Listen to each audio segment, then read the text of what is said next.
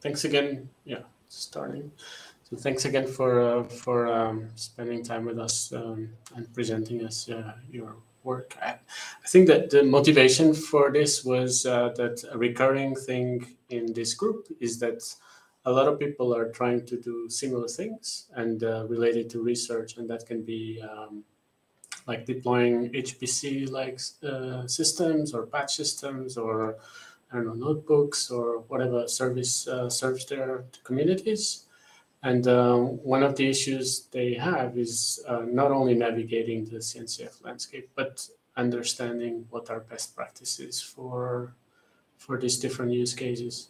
So attending your group's presentation, I think there was kind of uh, similar goals. And uh, so I think it would be great if you can describe uh, your group to our community and um, and then I'm sure other people have questions.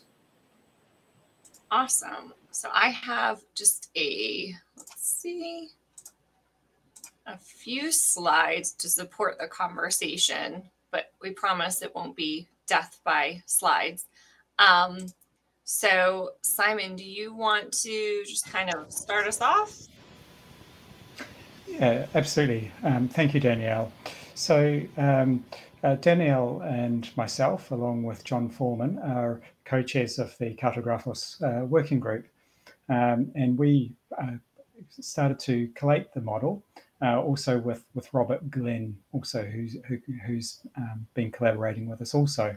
So we formed the working group approximately a, a year ago, uh, just to start working on a uh, cloud native maturity model. I'm based in London, Danielle's in, and the others in the US. Yep. Okay, so why why have a maturity model?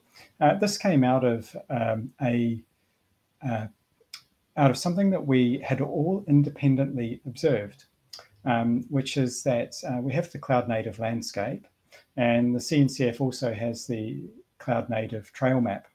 And uh, one of the first challenges for anybody encountering the landscape at first glance is first off, it's a real eye test. And then secondly, where do I start? What's my path? We'd observed that the trail map was in place, but it was very uh, at a very high level, and um, uh, it uh, didn't give much guidance, and at worst, it could be misleading. And uh, so um, I put together an attempt at a trail map. Danielle had also produced one, and uh, likewise John. And so we all uh, collaborated together. The main thing that we want to illustrate with the trail map is we want to show levels of maturity and also uh, um, provide a, a, path through which people can slowly attain cloud native maturity. We also uh, wanted to um, have multiple, uh, we believe that there are multiple factors involved in this. So we really wanted to, to help, um, provide tools to help adopters and end users navigate the landscape and the wider cloud native ecosystem. And so as we've got there, we want to help people move from inception through to full adoption of cloud native technologies using the landscape. Uh, yeah, next slide, please. Yep. Um, right. Um, Danielle, I think, uh, would you like to? Yep. So, our um, just for an overview of the maturity model. So, we have five different stages that we, so when we were coming together, we took these different models, looked at them, and was like, okay, how do we break this up and make sense of this? And so we came to the realization that there were kind of five main stages, and this is what this represents. And it's, you know, the first stage is when you're building out you know your environment then you're learning how to run it and you're figuring out how to move to production then stage three you're scaling.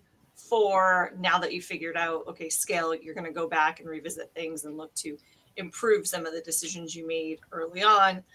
And then in five it's all about optimization and like what tweaks you can get from measuring and your metrics and monitoring and all of that so within each five stages, or for each five stage, we also broke it down to four key themes. So, people, process, policy, and technology. So, the people theme looks at well, what do you need to do culturally at your organization in each phase of the model? So, you know, in the beginning, you need to get the people on board to decide, like, yeah, I'm, I want to do cloud native. I'm bought in, and you know, you need to then, as you move through, like change the structure of your teams, maybe um, look at how who's leading, adopt, make sure you're adopting this DevOps culture, etc. The process again follows the five stages, and that looks at you know what do you need to put in place for CI/CD, your infrastructure as code, like are you shifting everything left? Um, policy focuses on what policies can you, do you need to put in place, what compliance mandates do you need to follow, um, and you know how can you automate this? And then technology is really where it we're suggesting like okay here are the tools you can use.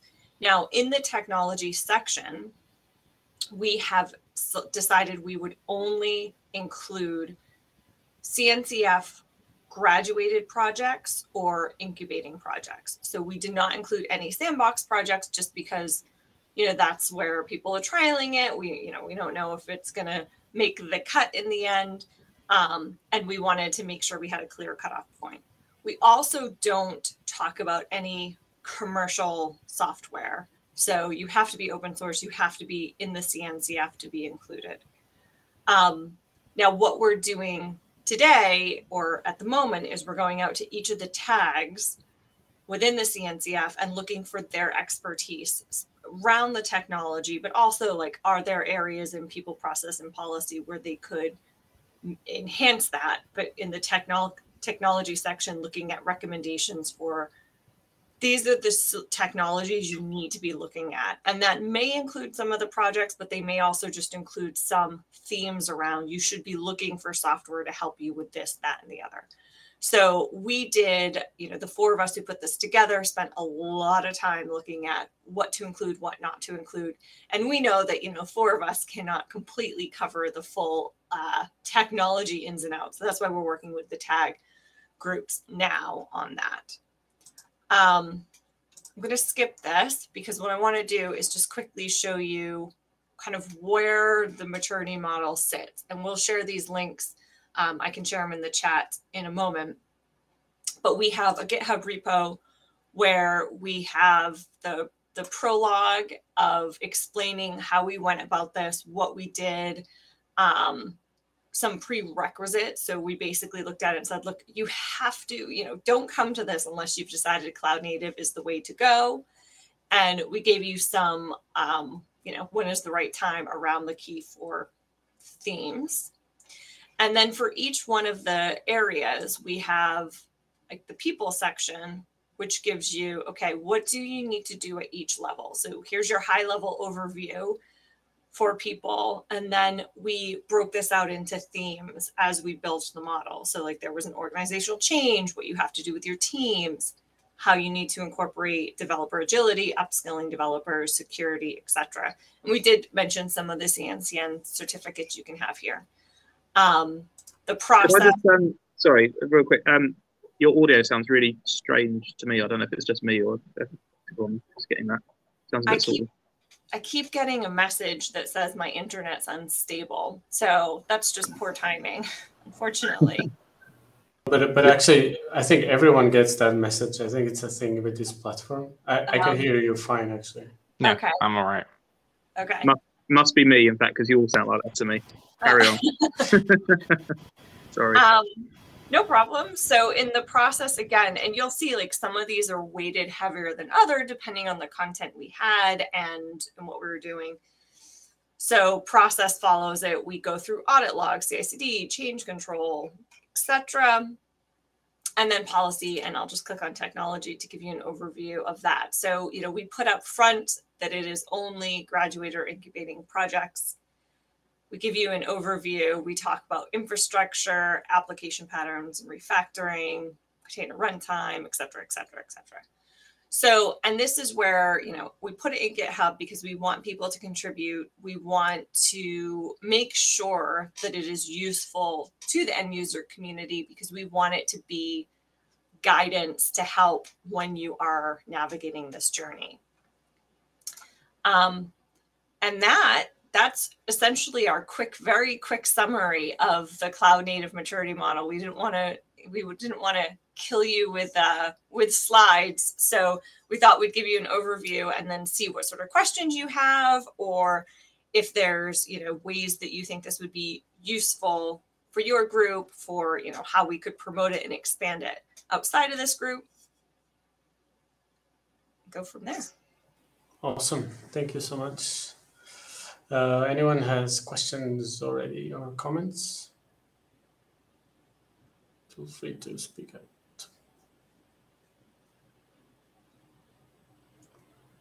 I, I don't, uh, yeah.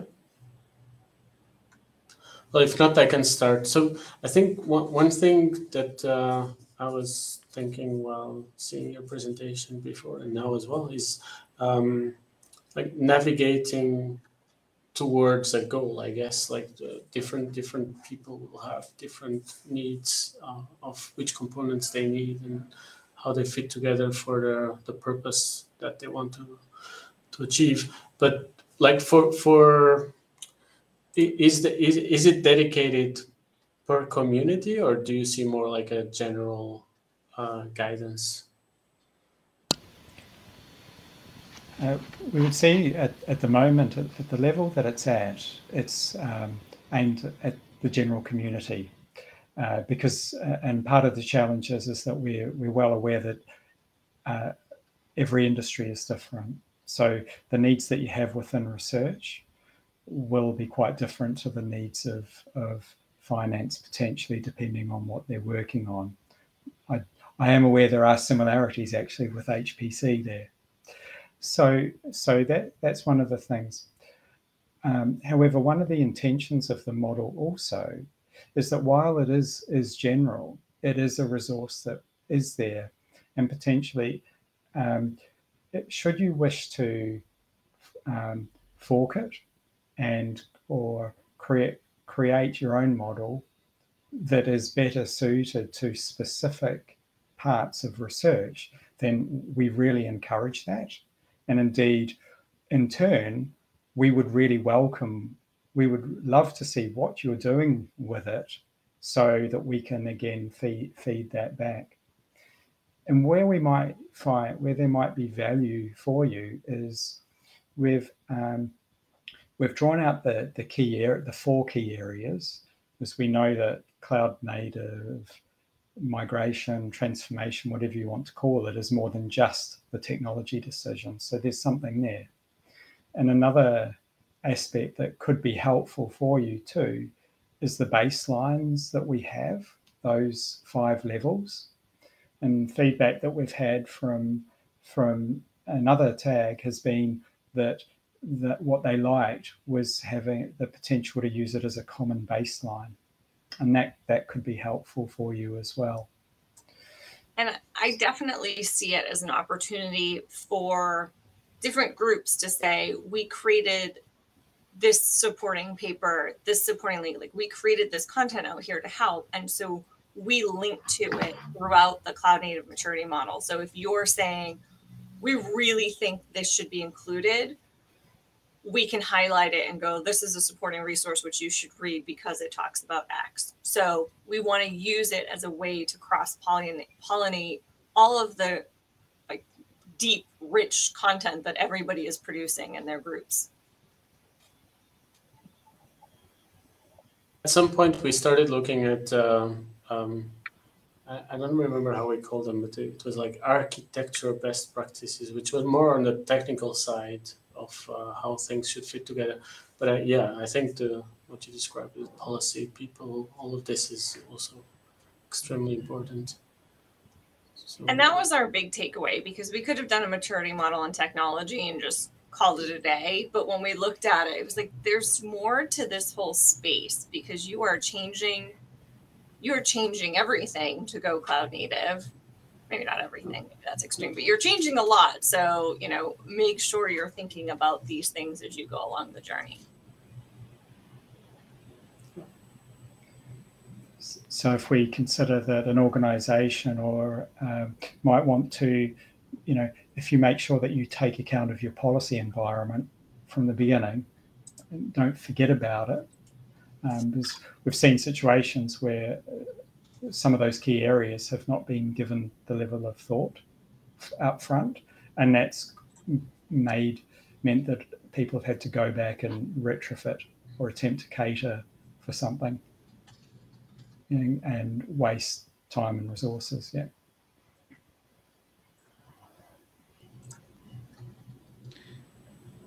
Anyone Oh, else? Like, just at what point in the process would you advise people to, to connect with your group, or I'm still qu- not quite sure about the interaction with Mhm. the cartographers group and what that's affected? Because we we have a project that we're signing the sandbox, but at what point reach out to? Do we go to meetings? Like, what's the relationship? at that point? So we don't want to cause more work for your group. So we're happy to join meetings where it makes sense for you. But in addition, we meet um, every other week on a Tuesday um, at one Eastern, um, and we have we have a bevy page two on it. So that's where we're talking about next steps. What do we want to do? How do we want to get people involved? Um, so you're welcome to join our calls. We're happy to come back. We um, we have one tag who's going away, think going through all of the content, and they're going to come back and either comment via you know make some pull requests via GitHub and trying to update the content, and that's how they want to do it. Um, but we're completely flexible in that we want contributions and we want additional people to join our group but at the same time we don't want to make more work for anyone so um, simon do you want to add Yeah. anything more to that Yeah, I would say also um, quite simply, um, we're on we're on we're on Slack. We're pretty easy to find. We're all listed there individually, and also uh, our emails there. And what I would suggest is we- we're really keen to to engage, and so um, I wouldn't leave it. So if you've got a project that you're considering contributing, while while um, part of the the reason why at this time our focus is really on the the graduated and the incubating projects is because of the the number of projects. And i get and perhaps because this is a relatively general model we know that the incubating and the graduated projects uh, you know pe- people are not really going uh, less likely to to sort of go go wrong with those. However if we're um, this landscape is changing really quickly and so if you if you want to say hey danielle hey simon john hey everybody we've we've got this project we'd um, just be aware of it keep it on your radar if that's all it is we're we're, we're happy for for that as well Yeah. Yeah. Appreciate it. Awesome. Uh, anyone has any other questions? Jamie, do you have any comment? Don't. My internet's a little bit dodgy, so I'm sort of coming and going. I'm sorry. I'm sitting on a 4G connection here. Yeah. I think I think this this is really like something that we should look at to, to build, like Daniela was saying, to take it as a baseline and, and build on top, and then see where we could contribute. I think w- one one thing I, I was just checking the agenda from the past, and we do have quite a lot of projects that come into our agenda that are Yeah. in early stages of uh, of development or integration into the CNCF. So we also have like the ones from incubation and and, and Yeah. uh, graduation that everyone depends on. But as Alex said, like the, there's quite a bit that is in earlier stages of uh, integration. Yeah. Uh, Matthew, go for Yeah, it. it's um, just have just I guess one thing I understand like whom I'm talking to, but is that in discussing any cloud native technologies, it's as a means to manage existing local resources. So there's a lot of existing perspectives of cloud is over there rather than local here, and also a matter of it's I have bare metal Slurm running. Why do I need to build up all of this additional architecture? And it's you wave at them that CNCF landscape, and they go, "Nope, no, that this is a waste of my time um, due to complexity and whatnot." And is that uh, how it's how you folks have pitched this as um, you know you must fully transition into CNCF methodologies and whatnot is that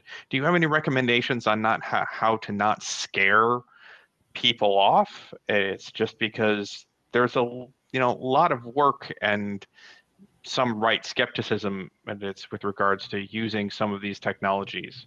You know why not use openshift um, openstack rather than going you know kubernetes management of stuff you know so I think there, um, we, so this maturity model, say I was an OpenShift user or moving to OpenShift, I could use this maturity model as a baseline. I just wouldn't necessarily look at every single technology project. And one of the things that we did recognize in this is that, you know, you might take one application and you're containerizing and you're adopting Cloud Native and you're doing all that, but the rest of it you're using bare metal, you're on prem, whatnot. You're only doing that for one part. So your maturity might be at level five for an app, and then you know the you're doing everything else. So you can be at different stages of the model depending on what you're doing. But it's it you know it's guidelines. It's helpful. It's not supposed to be prescriptive because if you read this and you go, oh this is exactly the way the CNCF says to do it. Like everyone's going to debate that. Like you might read it, Matthew, and go, I I would do this way earlier. And you know, Ricardo, you might be like, no, no, no, it's in exactly the right spot.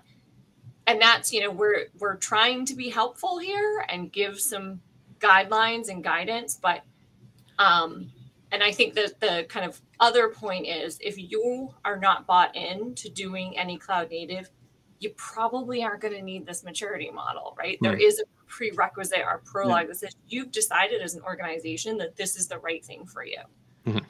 I think I think actually, uh, Matthew, the, that question you bring up is a question we should talk about as part of this group, just in general.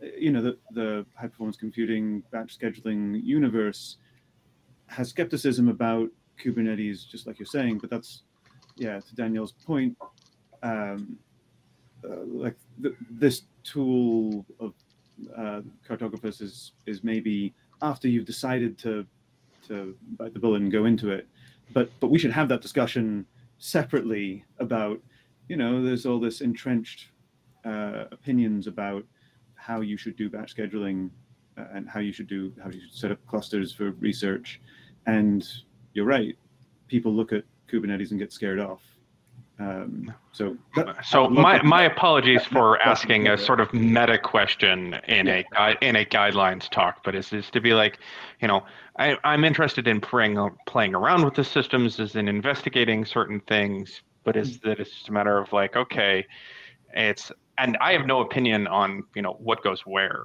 And it's in the overall guidelines thing, but as I'm just sort of thinking, okay, yeah, some of this might work, but it's always a okay, how, always in the back of my head, how the hell do I how the hell do I sell this to others? It, it's and yeah. uh, the, it's having guidelines of you know this isn't we move over in you know five days.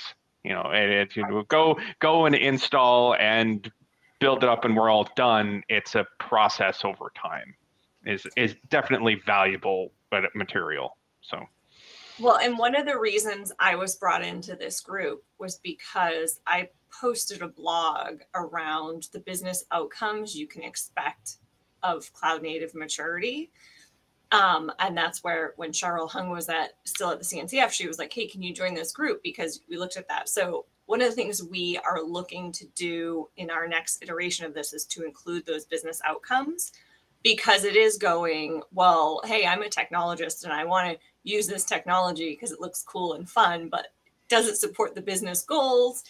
Is that what the leaders want? And how do you communicate to you know, your CEO, your CFO that doing this is going to help move the business forward. And so, you know, I can I can dig out that blog and shoot you the link to it, but that is definitely something we want to get into the maturity model in the next iteration. And um, a really valuable point as well, and something that occurred to me is, um, as you were speaking, Matthew, was um, I think I really like the point you raised actually, and I, I think it's actually a really important part of this discussion. Um, and um, some of the, the benefits might might be less around, um, for example, if you've got a an, an on-premise HPC cluster that's on bare metal and works incredibly well. Uh, some of the other some of the points that we've attempted to address are things like security and around policy and what's running on the cluster. How um, how am I ensuring that only the workload that should be on there is there and that I'm not uh, Bitcoin mining inadvertently on there. So um, also um, it, around, also around potentially what processes can we undertake to speed up releases on, onto that platform. So while the, the platform itself may be on premise, maybe within an organization and not be within a cloud service provider, and may not even use Kubernetes itself, it, it might open up a space for, for the further discussion around um, how's my policy looking? Um, how do I start? How do I move down down that journey? And how can I provide the insurance so we're not spending money unnecessarily? Yeah. So that's uh, an element where perhaps the other three areas may benefit or, uh, organizations as well. Um, actually working with a um, with an organization migrating a grid actually at this point in time to uh, from off-premise to cloud service providers and undertaking refactoring as well.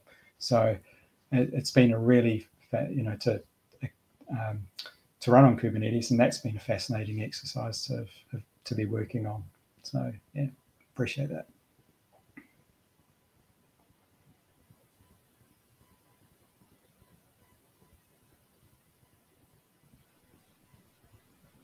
I think Ricardo's actually had to drop off uh, for some childcare issues, so I'm going to try and take over hosting uh, despite my internet not being great. So sorry if I drop off. Um, do we have any further questions? Trying to on the chat again.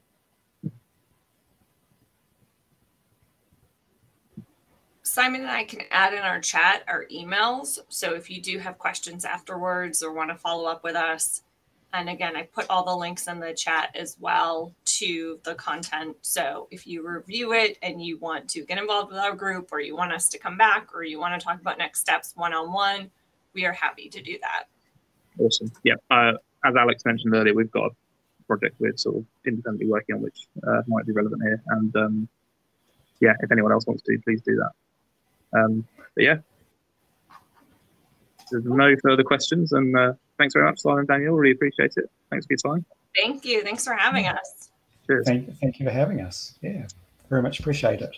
Cheers. And obviously, you're welcome to join anytime you like. We're here uh, twice a month, first and third Wednesday of the month at this time. Time zones notwithstanding. Great. yes, apologies for that on my part. No, I, yeah. Ricardo had a little dig at me because I've got a long track record of messing up time zones. I think because we're in London, I don't know about you, but half the time you're UTC and everything just works, and the other time, the other half you're not, and it makes it really hard. It's exactly right. I find have it, find exactly the same same thing. Yeah. yeah. Never write code in summertime. Yep. yeah. Yeah. Cool. Okay, well, thank you very much. Um, everyone else, I don't know um, if there's much more we've got to cover today. Um, we could just quick note that we'll be back here. Um, I guess let me have a quick look at the date. It's going to be on the second of Feb, so two weeks today, and the topic is dealing with deprecations. So all the various things in the latest Kubernetes releases and other things uh, disappearing as time marches on. So if anyone has any other business, Quick You'll question. Uh, we, we didn't update the Google Doc with attendance. Should, do we still need to do that or should it be somewhere else? Good question. Yes, normally we do. Normally I would do that, but I don't have a laptop today, unfortunately. But yes, if you could, um, or in fact, Catherine, if you're there, if you wouldn't mind popping a link to the um, Google Doc in the chat, then everyone can click that and just make a note of their their name and where they're Sure. from, and then we've got a record. That'd Yes. be great. Thank you. Give me, hold please, I'll do. Cheers. And I think we're going to try and update any record of the Zoom link and make it be gone because I think we had a few people turn up there at the beginning and then come over to uh, Bevy afterwards.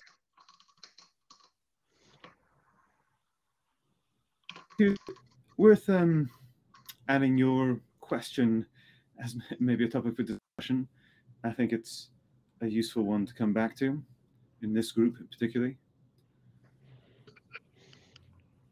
Yeah, I'm I'm I'm good with that. But it's uh, um, yeah, I, it's I inhabit a it's as a software engineer at a at a university centralized group. I inhabit a weird nether space between a bunch of the computing design paradigms. So getting some sense on how to talk to people about different ones is would be useful. Yeah, I think winning people over in the HPC space is a complicated process. I've got uh, Jamie and Ricardo and I are planning to chat with uh, some HPC people in Boston tomorrow, tomorrow, something like that, um, and you know, similar uh, emotions as you described from that community, and uh, so anyway, it, it's just interesting, an interesting conversation to keep on bringing up in this group, particularly because I think this group is a lot of people like you who deal with a lot of um, historical, entrenched, and working systems. And should they move to Kubernetes? What what's the big idea? What why why do this thing? Um, so I, would love that topic to keep on coming back up.